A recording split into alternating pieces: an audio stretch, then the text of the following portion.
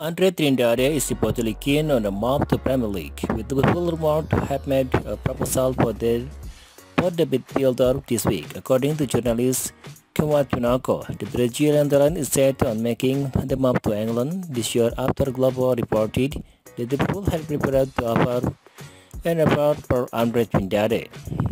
However, with Fluminense still in the Copa Libertadores, the Brazilian giant have an intention of letting Andre leave until they out out of the competition for the season.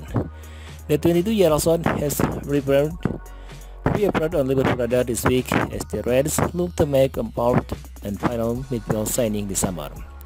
Andre Kaufman be that player Liverpool bring in, with the player himself now keen on a move to the Premier League and with the Reds growing interest.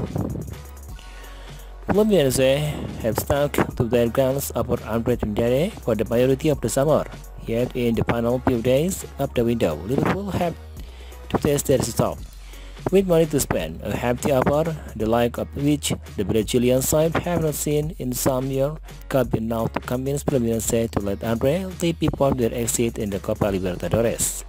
Moreover, with the player now keen on making a move to England under the direct power, and the team could be okay with the Liverpool scoring a transfer for the midfielder before next week's transfer deadline.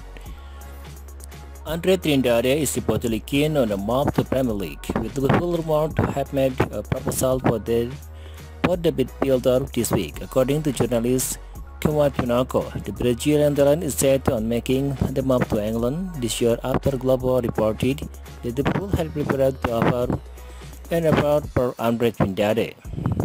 However, with Fluminense still in the Copa Libertadores, the Brazilian giant have an intention of letting Andre leave until they are out out of the competition for the season. The 22-year-old has reappeared, reappeared on Liverpool radar this week as the Reds look to make a fourth and final midfield signing this summer. An Andre Kaufman be that player Liverpool bring in, with the player himself now keen on a move to the Premier League and